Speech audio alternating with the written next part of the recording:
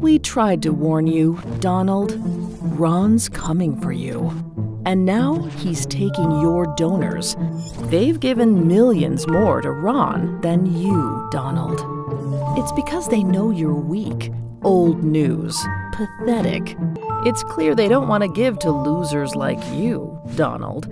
How will you compete with Ron in 2024 if he wins in 22? He has your supporters, your merch, and your donors. You better stop Ron, Donald, before he stops you.